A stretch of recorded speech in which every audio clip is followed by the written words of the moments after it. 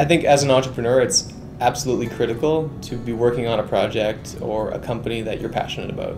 It's something that I didn't fully realize um, until a class in HBA2 actually um, that Ron Close taught. And it's just really important as an entrepreneur to realize what your passion is and pursue that to the fullest extent. So for me, there's been a number of little projects that I've been involved in um, companies, projects, startups, tech companies, um, a lot of different a lot of different things I've been involved in.